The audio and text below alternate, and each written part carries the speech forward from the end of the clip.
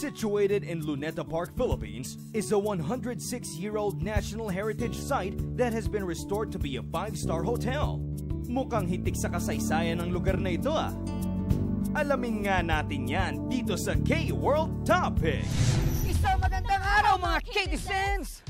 Truly a K-amazing day dahil ngayong araw, nandito tayo sa Rizal Park Hotel in Manila. At excited na excited na kaming pumasok dahil tignan nyo, exterior pa lang, winner na. At sigurado akong pasok na pasok ito sa aking OOTD. That is right, Mary. At tignan mo naman, itsura pa lang nitong lugar, eh mukhang malalim na tong kasaysayan, di ba? So, ano pa hinihintay natin? Okay, Pasukin na natin to. Let's go! tara! Tignan mo, Mary. Front view pa lang nitong hotel, nakaka-curious na kung ano meron sa loob, di ba? Laki, picture mo naman ako dito. Jump shot!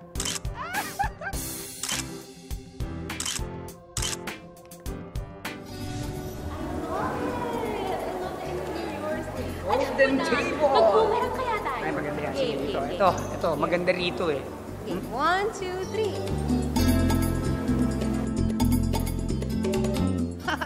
Stick, di ba? Ang ganda! Parang tayo nasa Paris! I know! Actually, Manila was once known as the Paris of the East. Oh. That's why we chose to restore this icon. This building used to be Army Navy Club. It was mm-hmm. established 106 years ago. So this is 106 yes.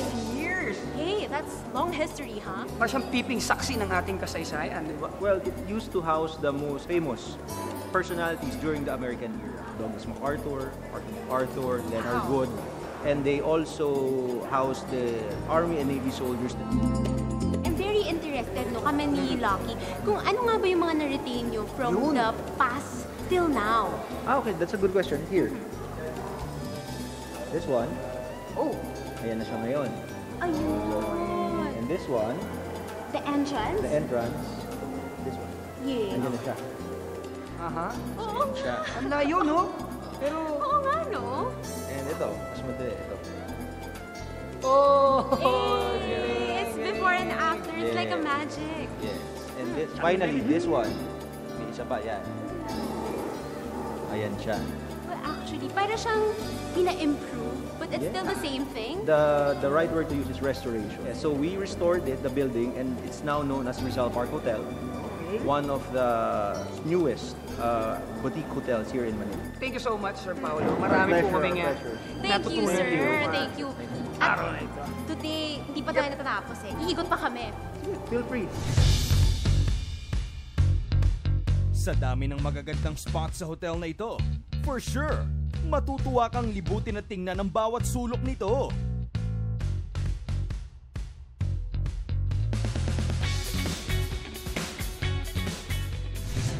Na perfect talaga itong lugar na ito para sa iyong mga loved ones, your friends, and your family.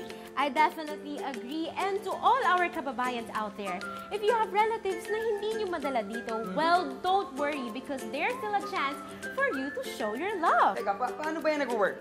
Ah, ganito yan. That is through Checkout Plus.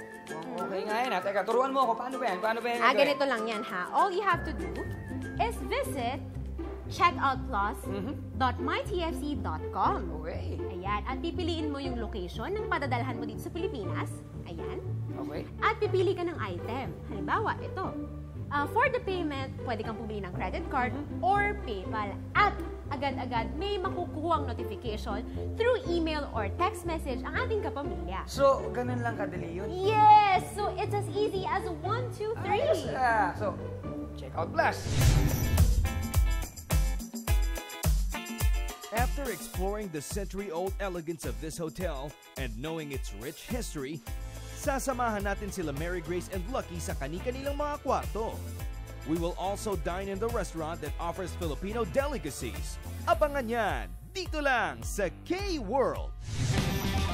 Mangyayari na ang pinakamalaki, pinakamatindi, at pinakainaabangang rakrakan sa buong Middle East. Humanda na kayo! One! Ngayong November 3 na!